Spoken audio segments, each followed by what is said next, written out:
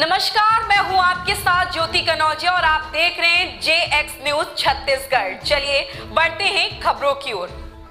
सरपंच ने पाँच फीट के डंडे में फहरा दी तिरंगा झंडा। पाँच फीट की लकड़ी गाड़ कर तिरंगा फहराने के बाद हरदी बाज़ार तहसील अंतर्गत ग्राम पंचायत फलपहरी सुर्खियों में आ गया है। भवन के सामने ना तो चबूतरा का निर्माण किया गया और न ही लोहे का पाइप लगाया गया है। सरपंच व सचिव ने अपनी गलती को स्वीकार किया है उन्होंने बताया कि गणतंत्र दिवस पर आवश्यक कार्य होने के कारण चबूतरा निर्माण नहीं हो पाया था, इसलिए बिना चबूतरा निर्माण के ध्वजारोहण किया गया।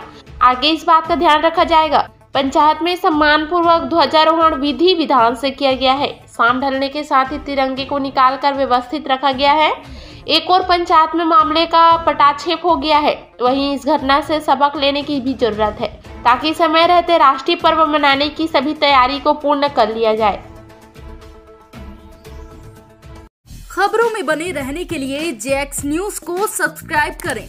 बेल आइकन को दबाएँ, ताकि हर खबर की अपडेट आपको मिलती रहे।